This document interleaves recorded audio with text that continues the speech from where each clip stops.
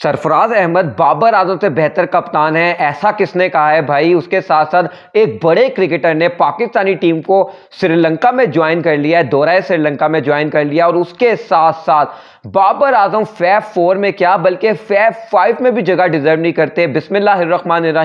अस्सलाम वालेकुम cricket with me के एक और वीडियो के साथ मोहम्मद यासिर अलिया की खिदमत में हाजिर है। तो दोस्तों, वीडियो हमेशा की तरह इन्फॉर्मेटिंग भी है और इंटरेस्टिंग भी है, मगर उससे पहले आपसे दरख्वास्त है कि वीडियो को लाइक करके चैनल को सब्सक्राइब करके बेल आइकॉन को दबा दें, ताकि हर लेटेस्ट वीडियो की अपडेट सबसे पहले आप तक पहुँच सके। तो दोस्तों बिल आखिर पाकिस्तान के जो बॉलिंग कोच हैं, यानी कि मोनी मोरकल, उनको पहले पाकिस्तान का वीज़ा नहीं मिल रहा था, लेकिन अब बिल आखिर उन्होंने पाकिस्तानी टीम को श्रीलंका में ज्वाइन कर लिया है, और वो जो लोग डर रहे थे फैंस डर रहे थे कि शायद हम दोहराए श्रीलंका में विदाउट ओवर बॉलिंग कोच ही खेलेंगे।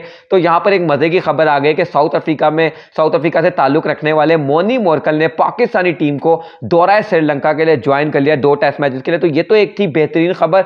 उसके बाद बात कर लेते हैं ई एस पी इन्फो ने एक एक खबर दी जिसमें उन्होंने कहा कि भाई, बाबर आज़म जो है वो फैफ फोर क्या, बल्कि फैफ फाइव में भी जगह नहीं डिजर्व करते। अब फैफ फोर और फैफ फाइव है क्या? यानी कि फेबुलस फोर और फेबुलस फाइव बल्लेबाजों की जो लिस्ट होती है, उसके अंदर बहुत सारे लोग अक्सर मैं देखता हूँ कि कहते हैं, जी फेबुलस फाइव में फेबुलस फोर में बाबर आज़म जगह डिजर्व नहीं करते। जो रूट का नाम लेते हैं केन विलियमसन का नाम लेते हैं, विराट कोहली का नाम लिया जाता है, उसके साथ साथ स्टीव स्मिथ का नाम लिया जाता है। लेकिन क्यों बाबर आज़म जगह नहीं डिजर्व करते साइमन डूल की क्या वो बात भूल जाते जब साइमन डूल ने कहा था कि Babar Azam not deserve his place in fab four he is the only one Simon Doull ने तो यहाँ तक कहा था, उन्होंने कहा, ये फैफ फोर नहीं, बल्कि ये तो ओनली वन है। इनके लिए तो एक नया लकब होना चाहिए। उसके साथ साथ बाबर आज़म को अगर आप मौजूदा देखें टी ट्वेंटी में नंबर तीन पर वनडे में नंबर वन पर पिछले तीन साल से टेस्ट क्रिकेट में अभी अभी नंबर सिक्स पे गया, नहीं तो नंबर फाइव पर थे। तो मतलब what more you can ask और जो लोग बात करते हैं कि अभी तक बाबर आज़म ने वो नहीं किया, जो बाबर आज़म को जगह दिलाएगा फैफ फोर में तो मैं सवाल पूछता हूँ कि भाई आखिर क्या करना होगा बाबर आज़म को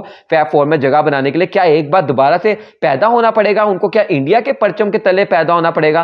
क्या जब वो भारत से पैदा होंगे, जब आप कहेंगे कि वो फैफ फोर में जगह डिजर्व करते हैं, या फिर उनको इंग्लैंड की नेशनलिटी लेनी पड़ेगी, या उसको ऑस्ट्रेलियन की सिटीजनशिप लेनी पड़ेगी? मतलब what more Babar Azam can do to deserve is place in fab four I think I believe और बहुत सारे सैकड़ों क्रिकेट फैंस नासिर हुसैन भी यही मानते हैं साइमन डूल भी यही मानते हैं, और बहुत सारे लोग ये मानते हैं कि बाबर आज़म फैफ फोर में जगह डिजर्व करते हैं and he is take his place in the fab four बहरल आपकी क्या राय है? कमेंट सेक्शन में बताइएगा। उसके बाद बात कर लेते हैं भाई अगर हम लोग बात करें वहाब रियाज ने, वहाब रियाज ने कहा है कि सरफराज अहमद जो है ना, वो शार्पेस्ट कप्तान है, जितने भी मैं कप्तानों के अंडर खेला हूँ। यानी कि एक तरीके से उन्होंने कहा कि बाबर आज़म से भी बेहतर कप्तान जो है वो सरफराज अहमद है। और बाय द वे व्यूवर्स ये सवाल जो है वो अक्सर ही क्रिकेटर से पूछा जाता है, जो बाबर की कप्तानी में भी खेले हैं, सरफराज की कप्तानी में भी खेले हैं, उन सबसे ये पूछा जाता है। तो अमूमन मैंने देखा है, शादाब खान ने भी एक दफ़ा यही कहा था, और भी बहुत सारे प्लेयर्स जो हैं वो यही बात करते हुए दिखाई देते हैं, जिसमें इमाद वसीम भी है, मोहम्मद आमिर का भी नाम आता है, जो कहते हैं कि सरफराज अहमद जो है, वो ज़्यादा बेहतरीन कप्तान है। और बाय द वे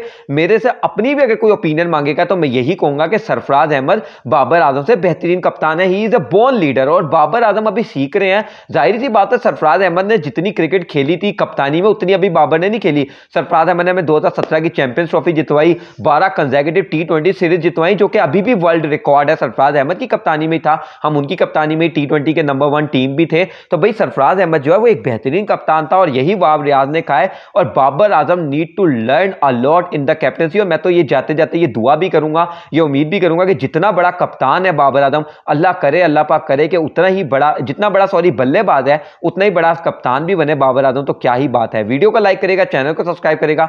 मुलाकात होती है नेक्स्ट वीडियो में। तब तक अपना अपने गीत के लोगों का ख्याल रखेगा दुआओं में याद रखेगा अल्लाह हाफिज़।